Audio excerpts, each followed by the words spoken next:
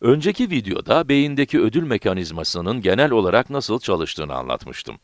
Şimdi de bu süreci daha dar bir düzeye, nöronlara indirgeyerek anlatacağım. Ki böylece tolerans, bağımlılık ve geri çekilme süreçlerine değinebileceğim. O halde toleranstan başlayalım.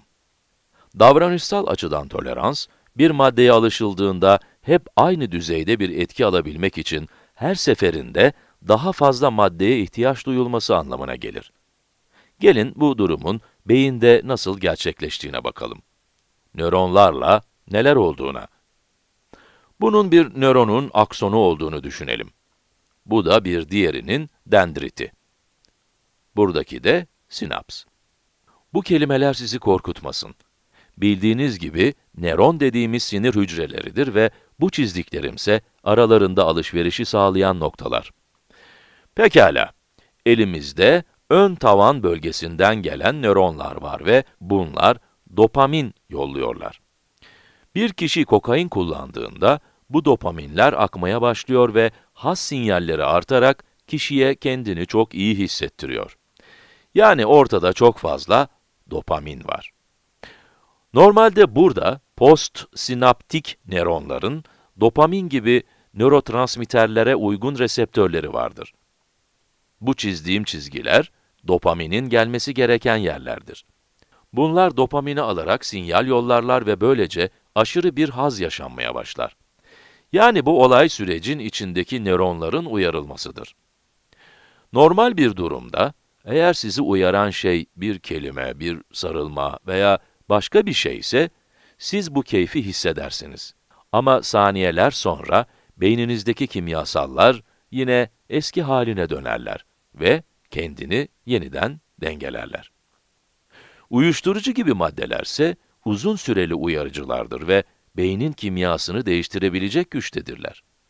Beyin sürekli olarak dopaminle uyarıldığında, bu durum ona fazla gelir ve kendini dengelemeye çalışır.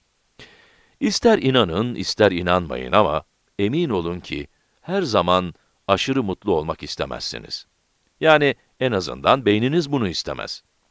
Bir süre sonra beyin, tamam, artık biraz sakinleşmem lazım.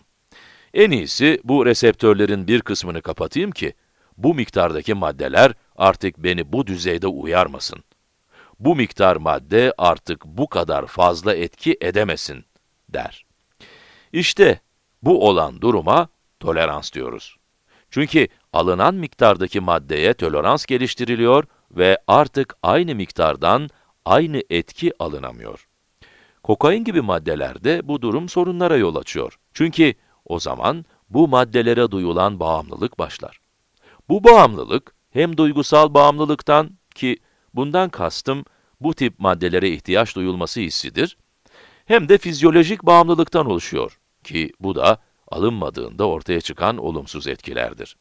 Maddeye karşı bir tolerans geliştirildikten sonra, eskisi gibi oldukça fazla etki elde edebilmesi için çok daha yüksek dozlarda kokain alınıyor. Bu da her seferinde kullanılan dozun artması anlamına geliyor. Bu anlattığım durum, istediği miktarda maddeyi elde edebilen kişiler için geçerli. Peki ya gereken yüksek dozları alamazsa? Eğer bir madde bağımlısı bir süre madde alamazsa, geri çekilme yaşamaya başlar.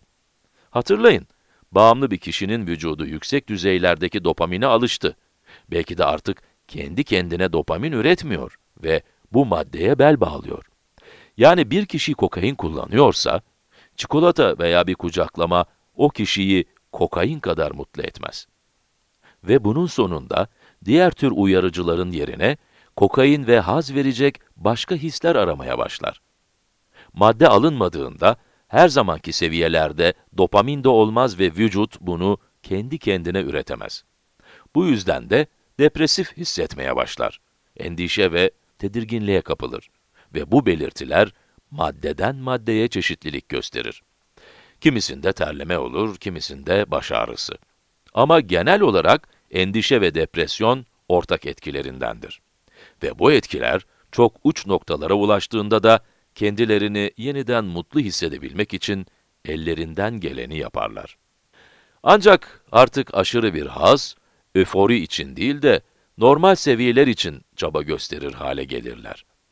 Maddeye karşı tolerans bir kere oluştuğunda, aşırı bir haz değil, normal bir mutluluk için bile maddeye ihtiyaç duyulur. Bu bir bağımlı olduğunun, yani maddeyi almaya devam etmek ihtiyacının göstergesidir. Ama tabii ki işin iyi bir yanı da var. Her ne kadar geri çekilme evresi zorlayıcı geçse de, beyin, maddenin varlığına alıştığı gibi yokluğuna da alışır. Yani biraz zaman ve biraz da azimle, madde ne kadar beynin bazı bölümlerine tamir edilemez hasarlar bırakmışsa da, ödül sisteminin yeniden normal seviyelerde çalışması sağlanabilir.